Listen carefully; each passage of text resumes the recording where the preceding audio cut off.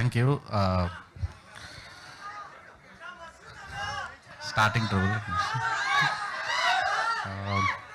so finally July fourteen ఇంకొక one week సరిగ్గా గురువారం రోజు సాయంత్రం పెయిడ్ ప్రీమియర్స్ ఉంటాయి. తర్వాత శుక్రవారం మొత్తం వరల్డ్ వైడ్ రిలీజ్ అవుతుంది um, థ్యాంక్ యూ ఖచ్చితంగా ఒక మంచి సినిమా తీశాను. ఆ- ప్రౌడ్ ఉంది. నాకు మామూలుగా మూడు సినిమాలకి చాలా టెన్షన్ టెన్షన్. ముందు రోజు వరకు టెన్షన్ పడతా కానీ అందరూ నా చుట్టుపక్కల అందరూ కొద్దిగా ఏమవుద్ది ఏ- ఎలా ఫీల్ అవుతున్నారు ఎలా ఫీల్ అవుతున్నారు అంటే నిజంగా టెన్షన్ లేదు. ఎందుకంటే మంచి సినిమా తీసేసిన ఆల్రెడీ. అయిపోయింది. దాన్ని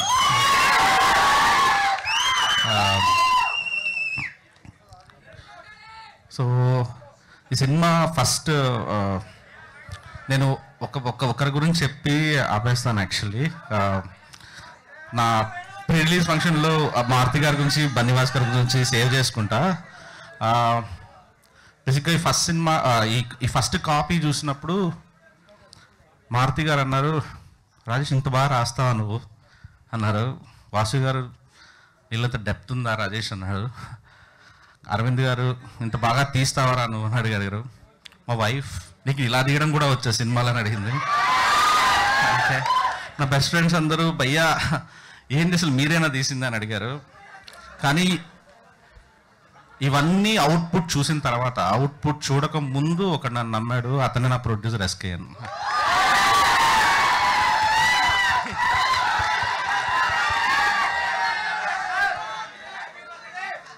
యా అంటే జస్ట్ ఇమాజిన్ ఒక్కసారి హృదయకాలం అంటే ఒక కామెడీ సినిమా తీసిన నేను దాన్ని ఏం లేదు I love my first film. కొబ్బరి మట్ట బట్ నేను డైరెక్టర్గా హృదయకాలం తీసిన ఒక సినిమా మీద ఓ పది కోట్లు పన్నెండు కోట్లు ఎంతో డబ్బులు పెట్టి రెండు మూడేళ్ళు నాలాంటి వాడితో సినిమా తీయటం అనేది the most gut gutsiest thing guts ఉండాలి దానికి ఖచ్చితంగా. పోతే మొత్తం పోతాయి అంతే. నే- నాకు తెలుసు ఆ విషయం. కానీ నన్ను నమ్మాడు. నన్ను నమ్మాడు నన్ను భరించాడు. అండ్ నేను కూడా నమ్మకం నిలబెట్టుకున్నాను అనుకుంటున్నా. రెవెన్యూ సైడ్ నాకు తెలియదు బేబీ సినిమా నిర్మాతగా ఖచ్చితంగా ఒక గౌరవప్రదమైన సినిమానే ఖచ్చితంగా ఇచ్చాను అండ్ ది ఒక ఫ్రెండ్ ఒక ఫ్రెండ్ నిర్మాత అయితేనే ఉంటుంది ఇది అంతే. మామూలుగా అయితే ఉండదు. సో నేను ఏం చెప్తున్నా అంటే ముందు ఒక డైరెక్టర్తో పది నిమిషాలు మాట్లాడితే తెలుస్తుంది. వాడు తీయగలడా లేదా వాడు చెప్పగలడా కదా అనేది తెలుస్తుంది. ముందు జడ్జ్ చేయటం మానేసేస్తే జనాలు జడ్జ్ అదే ముందు సినిమా ఫ్లాప్ కొట్టాడు ఏదో తీశాడు వాడు ఏదో తీస్తాడు తర్వాత సంగతి. సో నాతో తిరిగిన ఆ పది నిమిషాల్లో మాట్లాడిన ఒక నెలలో ఎస్కే నాలోని టాలెంట్ గమనించి అవుట్పుట్ షూటింగ్కి కూడా వచ్చాడు కాదు కానీ బయట అన్ని చోట్లకి వెళ్ళి నేను బ్లాక్ బస్టర్ కొడుతున్నా అని చెప్పి సినిమా మొత్తం అమ్మేశాడు. యాక్చువల్లీ సో అది ఒక నాకు ఒక్కోసారి చాలా బాధ అనిపిస్తుంది. ఒక ఫ్రెండ్ అవటం వల్ల ప్రొడ్యూసర్ని అప్పుడప్పుడు ఇన్సల్ట్ చేస్తానేమో అని సడన్గా నాలో నాకే అనిపిస్తుంది. నేను ఒక ప్రొడ్యూసర్ అయినా నీ ప్రొడ్యూసర్ని అలా బాధ పెట్టచ్చా? అని చాలా చాలా బాధ అనిపిస్తుంది. నాలో నాలే సంఘర్షణ ఇమీడియట్గా టక్కని ఒక ఐదు నిమిషాలు పది నిమిషాలకి నేనే తగ్గటం తనే నా దగ్గర రావడం ఏదో జరుగుతుంది.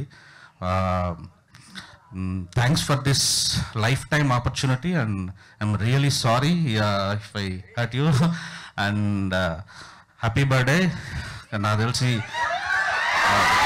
తెలిసి ఇక్కడ uh, నీ జర్నీ నెక్స్ట్ లెవెల్లోకి వెళ్తుందని నేను కోరుకుంటున్నాను. Happy birthday thank you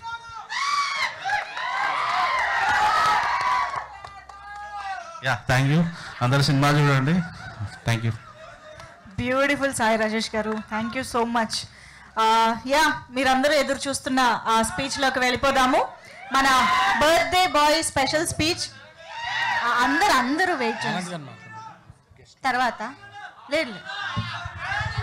really sorry like అంటే Vamshi garu really sorry sir thanks thanks a lot అంటే నా కలర్ ఫోటో ఫస్ట్ చూసింది ఆయనే. ఎవరికి ఎవరికి చూపించలేదు. అంటే వాసు గారు ఎలాగూ పార్ట్నరే ఆయనే. ఆయన సినిమా అంతా చెక్కారు కాబట్టి సెకండ్ హాఫ్ కానీ మొత్తం తప్పులన్నీ. నేను ఫస్ట్ సినిమా అరవింద్ గారికి కూడా చూపించలేదు. వంశీ గారు చూపించాను. ఆయన ఫస్ట్ అన్నారు బ్లాక్ బస్టర్ కొట్టారని.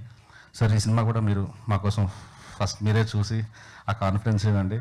అండ్ నేషనల్ అవార్డు వచ్చినప్పుడు ఆయన ఒక ఫీలింగ్ చెప్పారు. నాకు రాజేష్ ఎలా అనిపిస్తుంది నీకు అన్నారు నేషనల్ అవార్డు వచ్చినప్పుడు పక్క రోజు కలిసి ఏమో సార్ నాకేం అనిపించట్లేదండి. ఇప్పుడేం అనిపించదు. విజ్ఞాన్ భవన్లో అలా కూర్చొని నీ చుట్టుపక్కల లెజెండరీ ఫిల్మ్ మేకర్స్ ఉన్నప్పుడు ఎందుకురా మనం వచ్చింది అనిపిస్తుంది అన్నారు జస్ట్ నేను కూర్చుంటే నాకు ఆయన మాటలే గుర్తొచ్చినాయి. నాకు ఎప్పుడు నేషనల్ అవార్డు చూసుకున్నా కూడా వంశీ గారు చెప్పిన మాటలే గుర్తొస్తాయి. సార్ థ్యాంక్స్ అలాట్ ఎప్పుడు సపోర్ట్ చేస్తున్నారు? మీ సపోర్ట్ ఇలానే ఉండాలని కోరుకుంటున్నాను సార్. Thank you sir